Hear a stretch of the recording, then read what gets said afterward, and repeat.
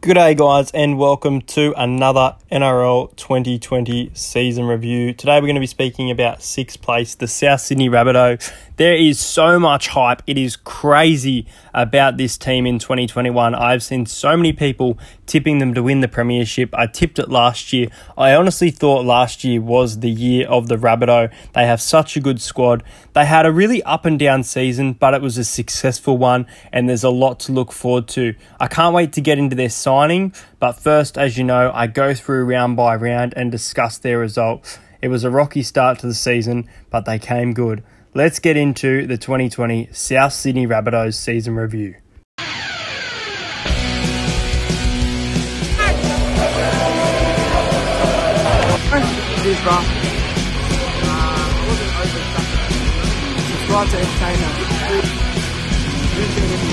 To.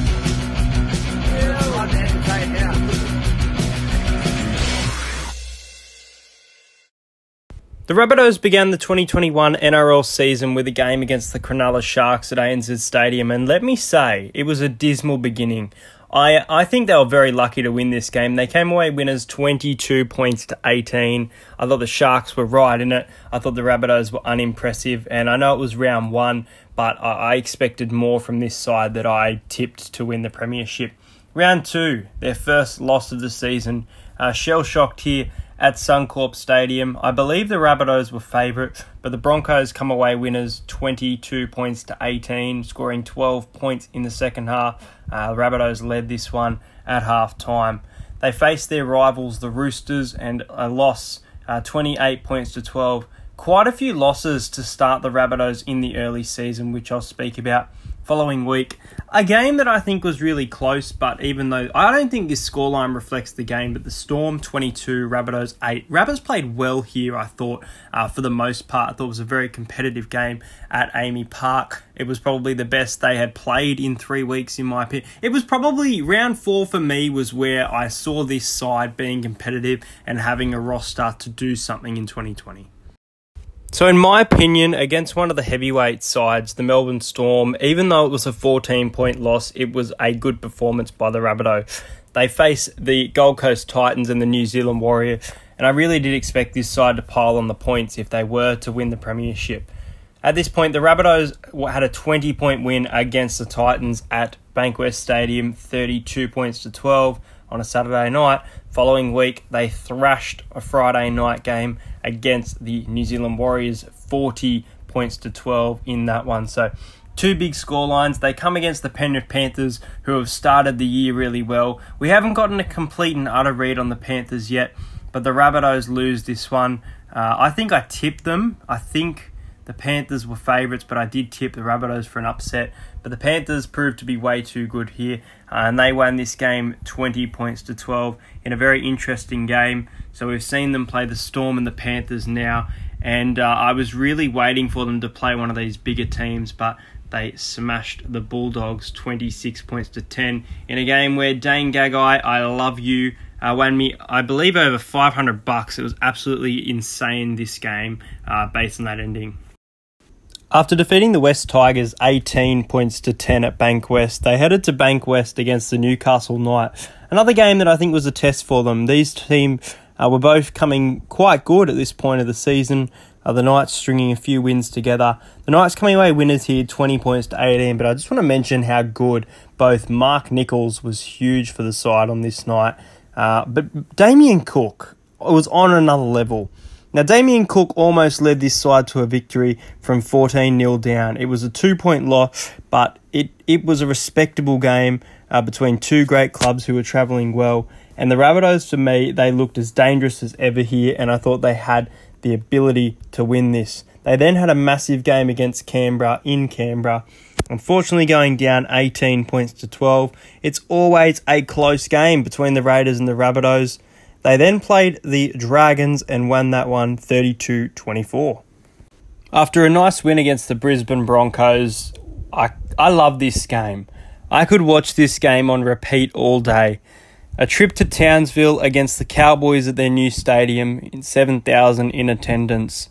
The Rabbitohs down 14 12 at half time. Definitely in the contest. A really high scoring game where the Rabbitohs, classy Adam Reynolds, comes away with a match winning field goal, even though they only scored five tries to the Cowboys six. Uh, they definitely got more conversions. Kyle Feldt was terrible with the boot. Otherwise, the Cowboys would have definitely had a chance. 31 points to 30 an incredible game to watch where Tom Opacic scored in the 73rd minute and then Alex Johnston scored in the 75th minute. It was back and forth. It was amazing to watch. And honestly, it was Adam Reynolds at his pure best. And over the next two weeks, all I could say was, what the fuck? When I was watching the Rabbitohs on Saturday, the 22nd of August, how could I have tipped the Manly Sea Eagles to win this game? Rabbitohs 56, Manly 16. Alex Johnston with a double, uh, Campbell Graham with a double, Latrell Mitchell with a double, nine tries to three, nine conversions from Adam Reynolds, 56 points. At halftime, it was 38 points to nil. This attack was red hot. I picked them to win the comp. No team who has uh, had 50 points scored against them has ever gone to win the comp, so Manly were gone by this point. But this was huge. But then they come to Bankwest in Parramatta territory and beat Parramatta 38 points to nil.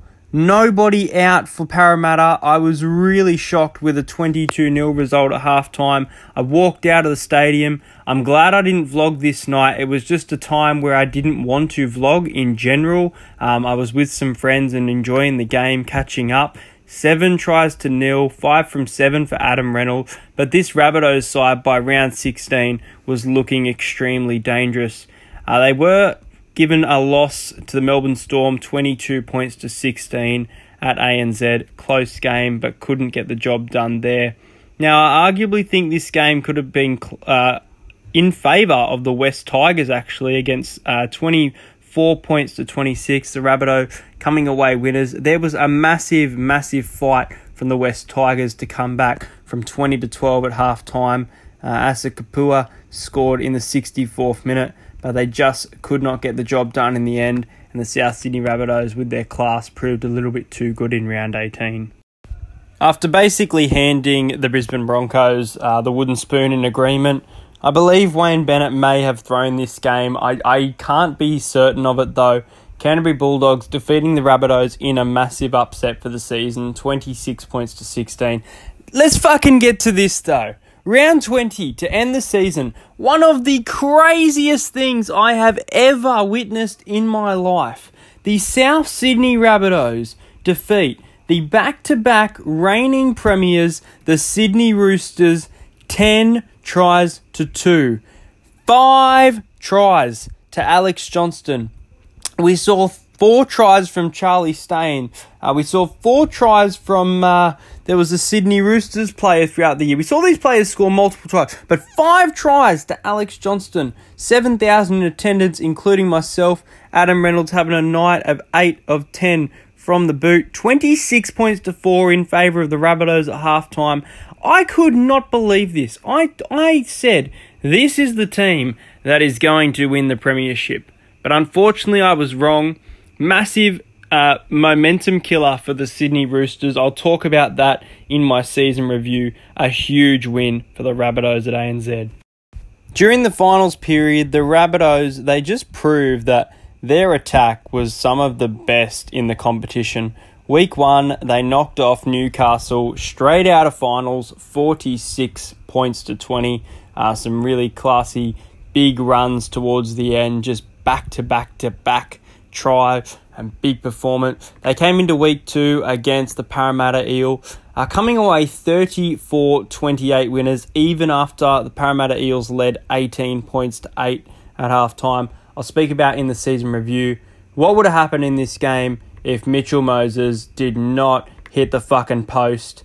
It was a momentum killer, but the Rabbitohs making it through to a prelim against the Penrith Panthers, who have had a massive season. You could argue that the Rabbitohs have had a massive season, and who comes away with it? The Penrith Panthers, too good, 20 points to 16. Heartbreak for Rabbitohs fans as Adam Reynolds almost kicks a 40 20 to potentially win the game, a very close game, 14 to 6 at halftime, but Penrith set up a grand final appearance against Melbourne and that brings an end to South Sydney's 2020 season. So that brings an end to the 2020 season, but let's talk about 2021. I mentioned the hype around these guys. It is huge. It is so big. Now, let, us talk about their gains. Now, Jai Arrow from the Gold Coast Titans has signed till 2024. Jacob Host from the Dragons till 2023. A really nice signing here of Josh Mansour. Uh, his experience could bring a lot to the club from the Penrith Panthers for 2022. A one year deal with Benji Marshall for the West Tigers. I really don't know what position he's going to play. And Tautau Moga comes back from the Newcastle Knight on a one year deal. So that's some pretty good signings that they've got during the off season. They lose Corey Allen to the Bulldogs, uh, Jack Johns to the Knight. James Roberts to the Tigers and Bayley Sironen to the Warriors. So there's a lot of depth to this squad, and I can understand why a lot of people are tipping them to win the Premiership but I haven't seen this much hype around a team to win a premiership in a long time. I definitely think they've got the squad to do it, but in my personal opinion, I just don't know. I don't know if this team can deliver that result, give Wayne Bennett that fairy tale ending, as I feel like he could be on his way out. Let's talk about how they're going to do it though. So, we've spoken about their squad throughout the 2021 season, but can they do this based on their draw? Well, they got the Broncos twice, the Bulldogs twice, and the Dragons twice. So that is good there. Now, they beat Parramatta 38 0, but Parramatta are a solid team, so it'll be a contest. They've got the Panthers twice, the Roosters, and the Storm all twice, as well as the Titans, who a lot of people, as I mentioned, expected to make the eight. So that is a pretty tough draw. The Roosters, the Storm, Eels, and Panthers twice. They play the Cowboys, the Knights, Raiders, Manly, Sharks, and Warriors one. I think it's going to be a tough year. I think they've got a really solid draw, um, a, a tough draw, sorry. And if they are going to win the Premiership, they're going to have to prove it in some big ways. So I'm not sold on it, but this draw is a, a test. So that's going to do it for this video. Make sure you do like and subscribe to the channel if you want to see more NRL content. I can't wait to pump my ladder prediction out That'll be out shortly. Make sure on Monday at 6 p.m. Uh, check out Let's Talk Footy. It's been fantastic with Denan Kemp and Hayes Dunster. We have the king of ankle taps, Josh Papalii, coming on for this week's segment. It's going to be an absolutely fantastic chat as well as another two future episodes planned. And I'm still working out a complete schedule for you guys involving that. Hope you guys enjoyed this video. Make sure you let me know what you think of the Rabbitohs in 2021. Do you think that they can go all the way or are you skeptical like me? Thanks, guys.